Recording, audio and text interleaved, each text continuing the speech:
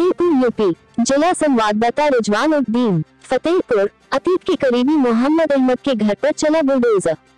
तालाबी number पर बनाया गया था आलीशान घर। बुलडोजर से गिराया गया मोहम्मद अहमद का घर। हत्या के मामले में 2007 से फरार था अहमद। कल कोर्ट में मोहम्मद अहमद ने किया सरेंडर। खखरेरू थाना क्षेत्र के रहमपुर गाँव का मामला।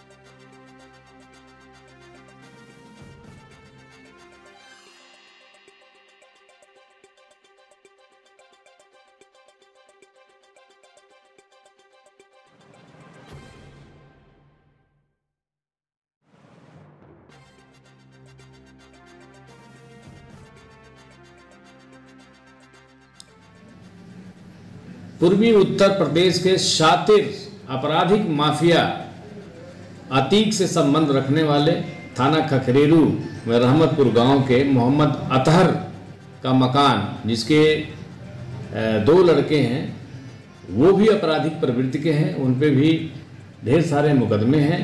मोहम्मद अतहर स्वयं ही हिस्ट्री शीटर था। उस पर तीस से अधिक मुकदमे थे, जिसकी कुछ दिन पहले डेथ हो गई है। इस पूरे परिवार का अतीक के यहाँ आना जाना था। इनके संबंध थे। इन्होंने गुंडागर्दी के बल पे और गाँव के बीच में तालाबी ज़मीन पे करोड़ों का मकान खड़ा कर रखा था। आज वहाँ पे पुलिस और प्रशासन की टीम मौजूद है। एसडीएम और सीओ अपनी पूरी टीम के साथ मौजूद हैं और ये अवैध निर्माण आज बुलडोजर से ध्वस्त किया जा रहा है। धन्यवाद।